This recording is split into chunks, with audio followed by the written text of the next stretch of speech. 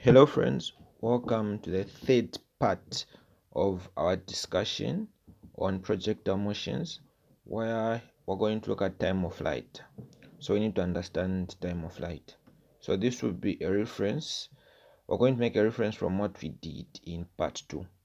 So this is uh, the diagram which represents uh, the trajectory. So let u be the speed at which it is moving at we have the y-axis and also we have the x-axis.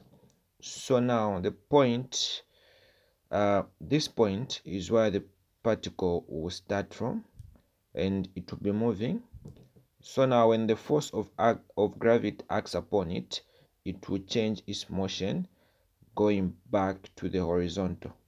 Now the time it takes from the starting point to where the trajectory ends, the total time taken is what we refer to as the time of flight.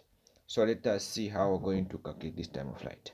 Now, if you remember, if you've watched the second part of projectile motions, where we looked at uh, time taken to reach the highest point, or time taken to reach, I mean, time taken for maximum height uh, we did look at it and we did derive it which later helped us to find uh, highest point. So t is equals to u sine theta over g. So this time for the highest point is uh, denoted using a small letter t.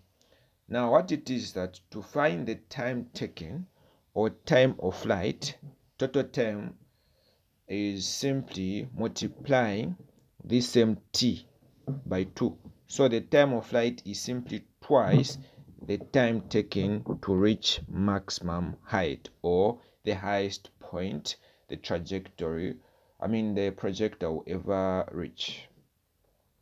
Okay, so that is what we have. So that will therefore mean that t for the time of flight, which is denoted by a capital letter T, will be equal to 2 times over the time taken to reach the highest point. So to be calculated t is equal to 2 times small t, like that.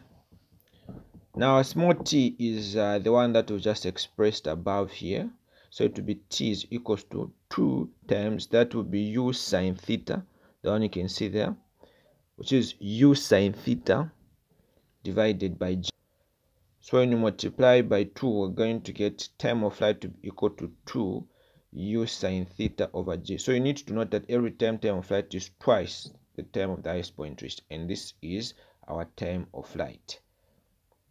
Okay, so that's how you go about it. Thank you very much for watching this video.